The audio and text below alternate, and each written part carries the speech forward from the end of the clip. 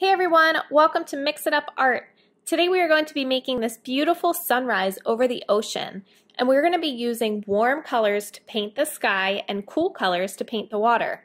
So to get started, you're going to get a sheet of white construction paper and I want you to hold it landscape style so that it's wider side to side than it is up and down. You guys can start with a pencil, but I'm just going to start right away with a Sharpie.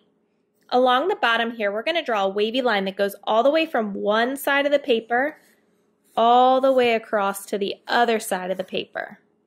And we're going to do this three times.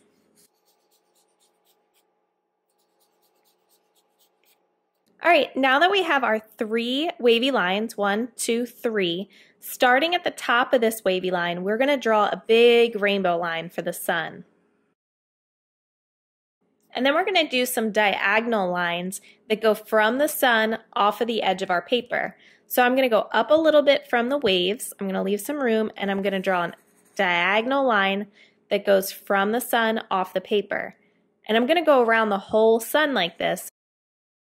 And then as I get closer to the top, the lines are going to go straight up and down.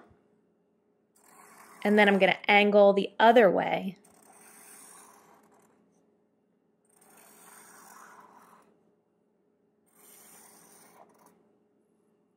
And I might add in one more line over here.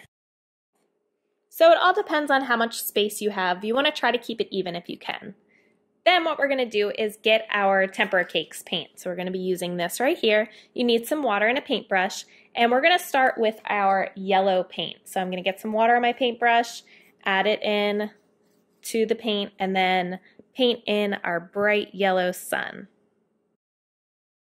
Once the sun's painted in, we're going to be using our warm colors, our red, orange, and yellow to paint the sky. Now you guys can paint inside of the lines if you want to do that, or you can paint outside the lines just using those warm colors. So maybe I'll paint one inside the lines, another one.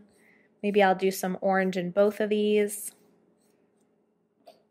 And then maybe get some red and let the red and orange mix a little bit. You can do that. However you want to do it, just make sure that you're using your warm colors only for this sky portion.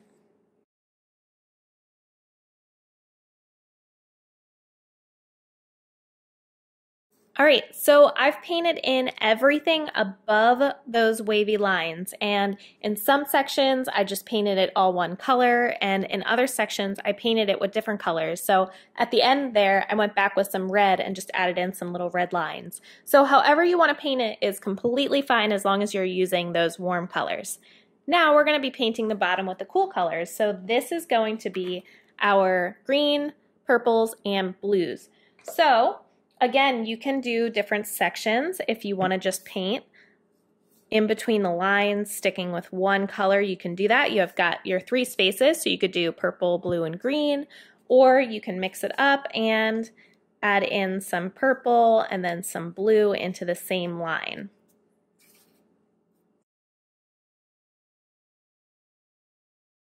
So I've kind of mixed up my colors on the bottom too, like I did on the top, which is a little different than what I did here, where I kind of kept most of it purple, blue, and green. So now you have an idea of what it will look like, depending on if you keep the colors separated or if you blend them together.